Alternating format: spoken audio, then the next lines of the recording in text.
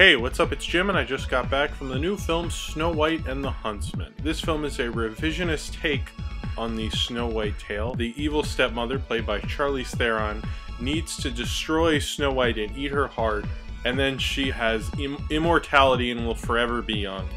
And Snow White, played by Kristen Stewart, on her way to have her heart ripped out and eaten by somebody, she escapes and goes to the Dark Forest. And so the Evil Queen sends the huntsman, who is very trained in going to the Dark Forest, apparently. But then the huntsman meets Snow White and decides, I don't want to do that anymore, much like in the Disney cartoon. However, in this one, he goes along and helps her and is her ally while she goes and tries to defeat the queen by getting to like this other kingdom and she's gonna have this army and they're gonna fight the evil queen and get her kingdom back that was taken from her by her evil stepmother after she killed her father. This kind of movie was the kind of thing that when I was a kid I would be really excited for because I really liked fantasy film. And in the pre Lord of the Rings days, fantasy movies were kind of bad. And a lot of them were alright at the beginning, but then when the film really gets into the plot, they kind of forget about character development. They're just way more interested in the plot, less interested in the characters, and that becomes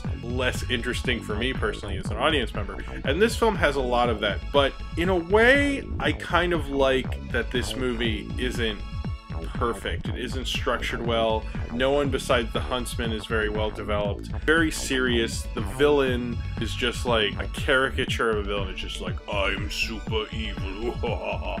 like the Black Cauldron had that as well, which I reviewed recently.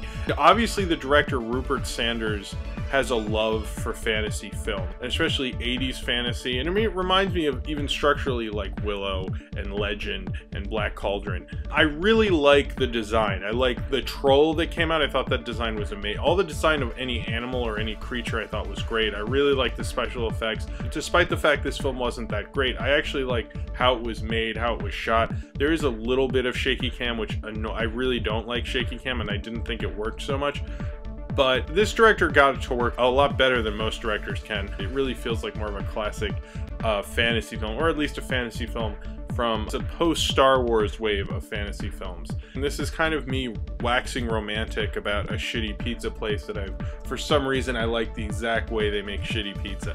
And that's kind of the way Snow White and the Huntsman is. Like, my major complaint with John Carter or most big-budget summer movies is I always want kind of cool design, you know, like Black Hole or even Black Cauldron is another example there's a lot of craftsmanship that went into it. Charlize Theron's character, who they start off actually really developing. I actually quite liked where they're going with it, but then they just kind of drop it and make her just overall evil. Then you have Kristen Stewart, who is basically playing the movie star role. It's very, but she's doing it in a very vapid, vacant, absent way. Chris Hemsworth, however, he looks like Joe Kubert drew him or something. He was made to be in fantasy films, and he is so good at it. I just, I really like Chris Hemsworth as a star because there's certain people who like Viggo Mortensen or Sean Bean who like they so they're so perfect at being a guy who like has a sword with him. He has the physique of someone you'd imagine who would like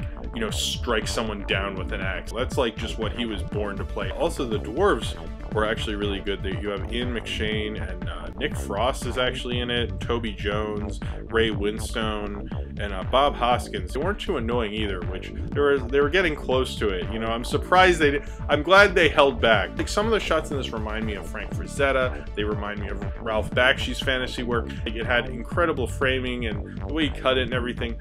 I mean, there's there's a lot about this film I like, but it's not a great movie. It's an alright movie, but with a lot of craftsmanship. It's a victim, really, of its own genre, which is alright, because really, this movie is exactly what I want it to be. It's just kind of a fun, vapid little fantasy, but it has a lot of respect for the fantasy genre. It's a vapid movie, but it's a vapid movie that someone cared about making. So if you have seen Snow White and the Huntsman and you would like to talk about it, then comment below in the comments, and subscribe if you would like to.